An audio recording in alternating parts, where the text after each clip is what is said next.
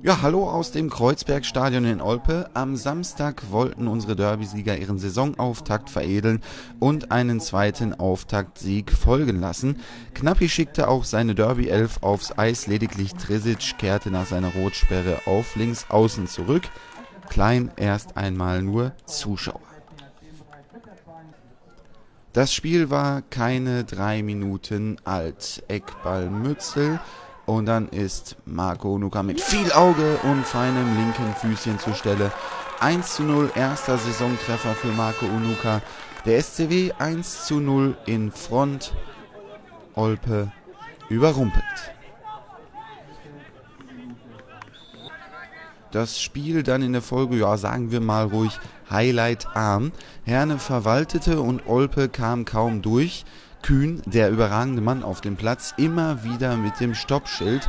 So musste es ein Standard sein. Es gibt hier indirekten Freistoß nach Rückpass, der für die erste Torchance sorgen sollte. Doch Carpentier wirft sich heldenhaft in den Ball.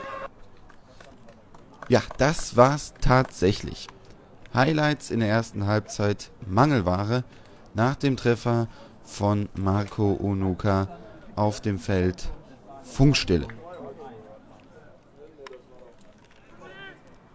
Die zweite Halbzeit begann allerdings wie die erste. Flott, zügig und mit dem Anpfiff wieder eine Herner Torchance. Ferrati! Und er macht's wie Onuka mit Auge. Auch sein erstes Saisontor. 2 zu 0. Ja, und Marek Lesniak, dem musste es vorkommen, wie ein Déjà-vu. Die Jungs vom Schloss Strünkede wollten jetzt einen Haken an das Spiel machen. Mützel auf, auf und davon.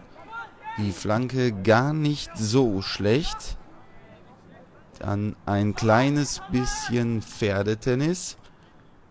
Und aus dem Hintergrund kommt jetzt Robin Klaas. Summa summarum allerdings zu ungefährlich. Ja, und wenn nichts mehr geht, geht bei Herne immer ein Freistoß. Fatmir Ferrati zur Stelle. Doch der Sack immer noch nicht zu, trotz guter Tormöglichkeiten. Und wir kennen das. Wer vorne die Dinger nicht macht. Yannick Buchen, der wird bestraft. 1 zu 2 aus Herner Sicht und aus Olper Sicht natürlich auch. Und die Frage, die sich jetzt stellte, musste Knappi noch einmal zittern? Die Antwort ja.